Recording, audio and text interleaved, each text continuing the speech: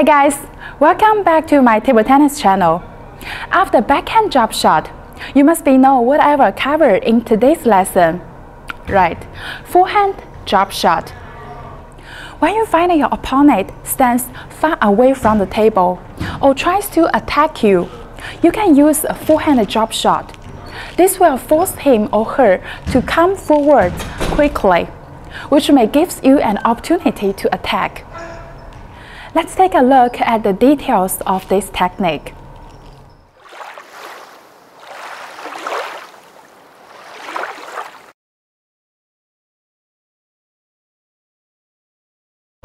Stand at the right side of the table, close to it.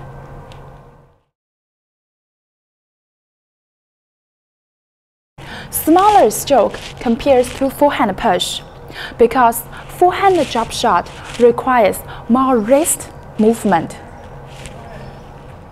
Pull your arm back when the ball is coming to you. When you contact the ball, move your arm forward and down a little bit.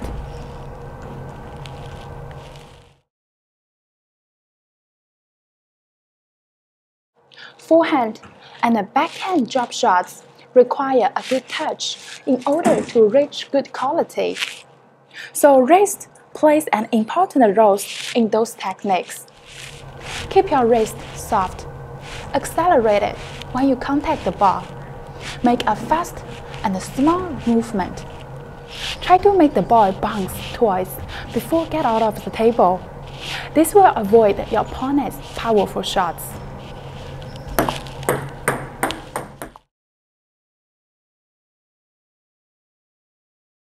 Like a backhand drop shot, the racket angle of a forehand drop shot depends on how much spin the coming ball has.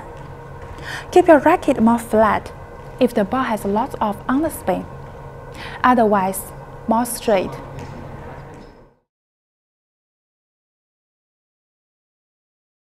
Catch it right after it bounces in front of your body.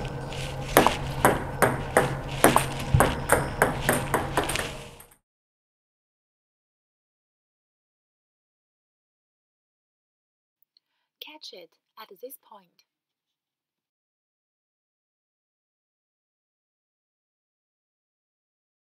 It's important to step in with the right leg. Get close to the ball. Recover back to the center after hitting the ball. Let's check out my demonstration.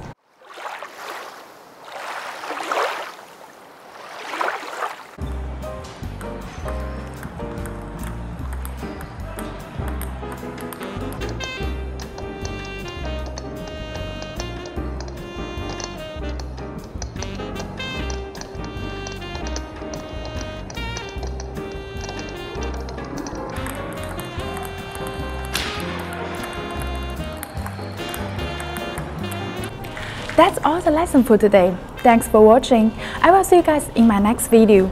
Wish you guys have a wonderful day. Bye!